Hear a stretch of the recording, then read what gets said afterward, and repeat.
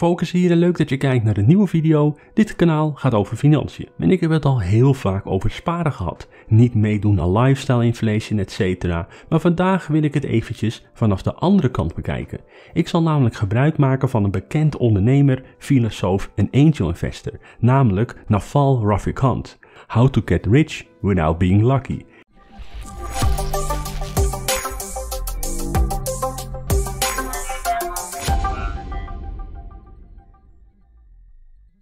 Voordat we gaan beginnen met de video van vandaag, ik krijg vaak vragen over livestreams. Ik zal voor Discord leden in het premium gedeelte een live Q&A doen op 15 juni. Ik wil graag veel vragen beantwoorden, maar dat is gewoon niet mogelijk met bijvoorbeeld 1000 kijkers. Dus ik zal het doen in de Discord van de Financial Hub en op YouTube staat het op dit moment nog niet in de planning, maar toch nog eventjes daarover een update geven. En laten we dan beginnen met de video. Naval is een groot ondernemer, filosoof en ook een bekend angel investor en heeft een bedrijf genaamd AngelList.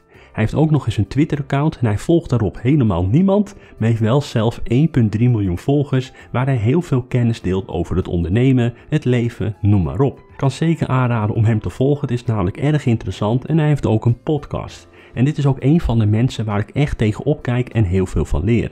Zijn vastgepinde tweet heeft de titel How to get rich without being lucky.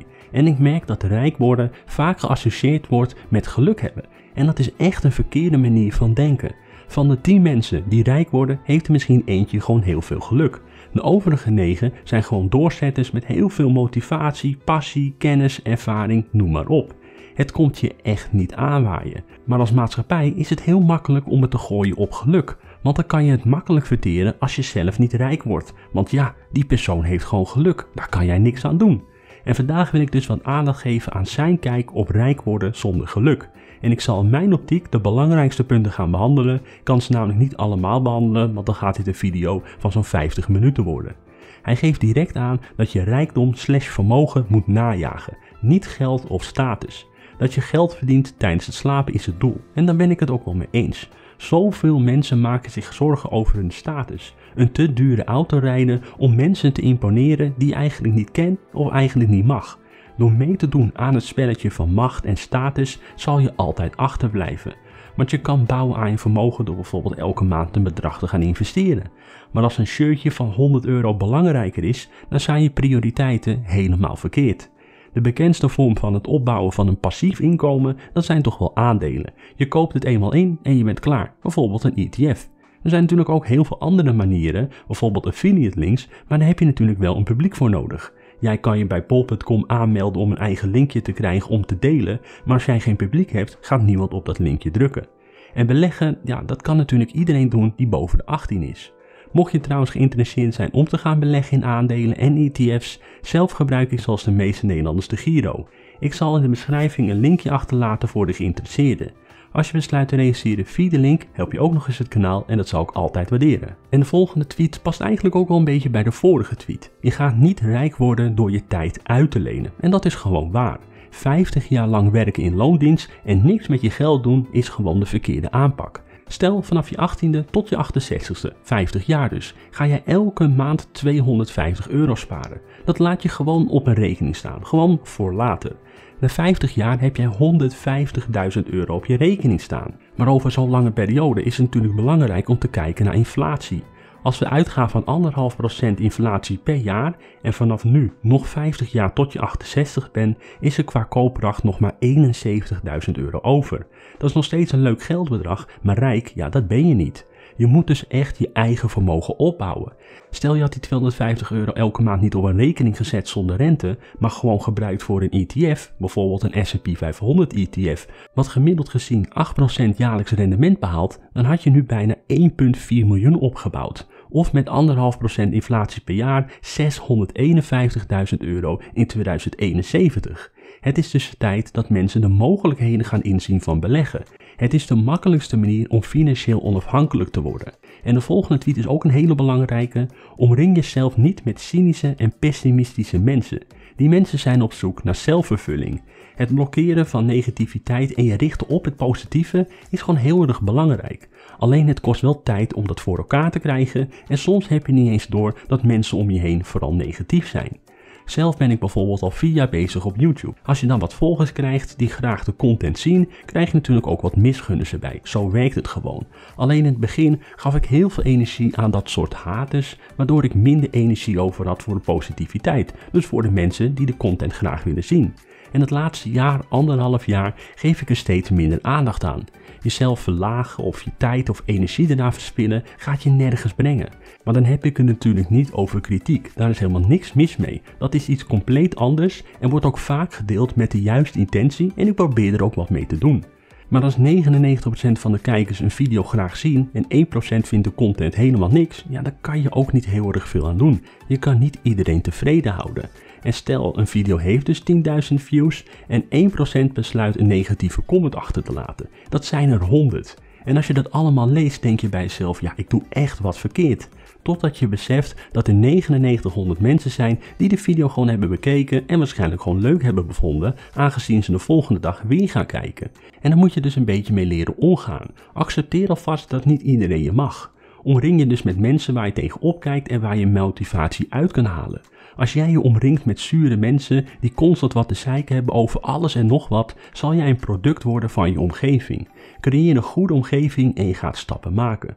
Voordat we trouwens doorgaan met de video, ben je nieuw en je wilt meer van dit soort video's zien, vergeet er zeker niet te abonneren, ik zal dat zeker op prijs stellen. Goed, gaan we door met de volgende tweet. Specifieke kennis is kennis waar je niet voor opgeleid kan worden, want als de maatschappij je daarvoor kan opleiden, ben je vervangbaar. En hier geloof ik heilig in. Je kan beter over een specifiek onderwerp alles weten dan van alles een beetje. Want je bent met specifieke kennis veel meer waard. Dat merkte ik ook toen ik nog in de logistiek werkte zo'n beetje 10 jaar geleden. Op die vloer waren er zomaar 500 werknemers die allemaal hetzelfde deden. En iedereen kon na 2 à 3 dagen meelopen dat werk zelf uitvoeren. Je zal nooit veel gaan verdienen, want dat werk kan door miljoenen mensen gedaan worden. En dit is dus voor iedereen anders. Stel je voor je bent goed in webdesign, coding, artikelen schrijven, tekenen, fotograferen, noem het maar op. Iedereen moet bij zichzelf kijken waar je echt goed in bent. Stel jezelf maar die vraag. Waar ben jij beter in dan 99% van de maatschappij? En als je daar het antwoord op hebt, dan weet je waar je toekomst zit. En soms moet je echt onderzoek doen naar waar je goed in bent. Zonder mezelf echt een schouderklopje te geven, ik weet dat ik best wel goed ben in het maken van YouTube-video's. Ben ik de allerbeste? Nee, natuurlijk niet. Maar ik ben goed genoeg om een meerwaarde te leveren op een platform als YouTube. Dit voor jezelf ontdekken is moeilijk, maar kan op de lange termijn wel bepalend zijn om rijk te worden. En dan door met de volgende tweet. Word de beste in de wereld in wat je doet. Blijf herdefiniëren wat je doet totdat je de beste bent. Dus jezelf blijven ontwikkelen, elke dag maar weer. Nooit tevreden zijn. En zo sta ik zelf ook een beetje in het leven. Als ik op een dag niet iets nieuws heb geleerd, dan weet ik dat het niet zo'n hele succesvolle dag is. Jezelf blijven pushen om steeds beter en beter te worden gaat je echt op weg helpen om rijk te kunnen worden. In elk vakgebied zoeken mensen de allerbeste. Zorg dat je steeds blijft ontwikkelen, zodat mensen na een tijdje niet meer om je heen kunnen. En dan gaan we door met de volgende tweet. Als je niet kan coden, schrijf dan boeken en blogs of maak video's en podcasts. De term creator economy heb je misschien wel eens gehoord. Iets creëren waar mensen een meerwaarde uithalen. Internet is namelijk nog steeds een nieuw iets. De mogelijkheden zijn oneindig en er zijn heel veel goede manieren om veel geld te verdienen. Alleen zal je niet binnen twee maanden succes boeken. Je moet van de lange adem zijn en er zullen ook heel veel dingen mislukken. Maar iets online ondernemen kan ik iedereen aanraden. Zal met vallen en opstaan gaan, maar er zijn dus heel veel mogelijkheden op het internet om geld te gaan verdienen. Alleen is de kans groot dat je pas die mogelijkheden gaat zien als je al een tijdje bezig bent.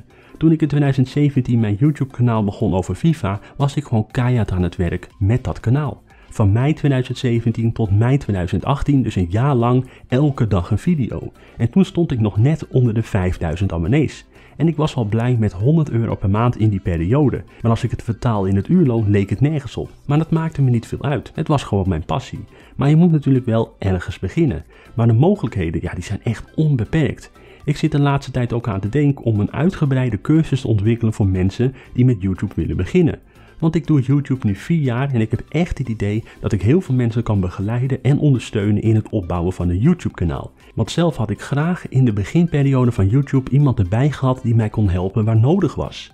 Dan was ik waarschijnlijk al veel eerder een stuk verder. Want video's maken is mijn passie en die passie delen door middel van een cursus of een mentorprogramma of hoe je het ook wilt noemen, lijkt me iets moois. En het zal hartstikke mooi zijn als ik inderdaad op een gegeven moment een keer zo'n cursus ga beginnen, dat ik echt zie dat mensen succesvol worden op YouTube. Dat zou echt prachtig zijn. En dat heeft ook een beetje een raakvlak met de afsluitende tweet. Wanneer je vermogend bent, dan realiseer je pas dat dat niet je doel was. En daar ben ik het ook wel weer mee eens. Geld is gewoon een belangrijke tool, laat dat duidelijk zijn. En dat maakt het leven een stuk makkelijker. Want mensen die echt in geldnood zitten, ja, logisch natuurlijk dat hun denken dat geld de oplossing is. Maar geld of vermogen gaat steeds minder belangrijk worden als je steeds meer vermogen aan het opbouwen bent. Want je gaat namelijk echt kijken, wat is nou belangrijk, waar ligt je passie en waar word je gelukkig van? Zal een cursus maken over YouTube en mensen daarin begeleiden mij rijk maken? Nee, denk het niet maar bezig zijn met mijn passie en mensen helpen in deze sector waar ik zoveel passie voor heb, ja, dat zou ik graag doen. En dat wil ik dus wel een beetje meegeven aan het einde van deze video. Het is natuurlijk heel erg belangrijk om vermogen op te bouwen, want het maakt het leven een stukje makkelijker en mogelijk ook nog een stukje leuker. Maar het is altijd belangrijk dat je altijd kijkt van wat wil je nou daadwerkelijk doen? En dan niet alleen maar kijken naar het geld. Waar word je gelukkig van? Dat is de vraag die iedereen voor zichzelf moet beantwoorden en dat is wel een hele moeilijke. Maar ik ben het er wel over eens dat geld of vermogen opbouwen daar een hele belangrijke rol in kan spelen, want het neemt heel veel stress weg. En voor nu komen we wel aan het einde van deze video. Laat zeker ook in de comments weten of jullie een keer iets zijn tegengekomen waar je van denkt, oké hier heb ik heel veel aan. Meer mensen moeten dit weten, zal altijd leuk zijn als mensen in de comments elkaar kunnen motiveren. Voor nu wil ik je wel bedanken voor het kijken. Als je vaker van dit soort video's wilt zien, vergeet dan zeker niet te abonneren en ik zie je graag terug bij een volgende video. Later.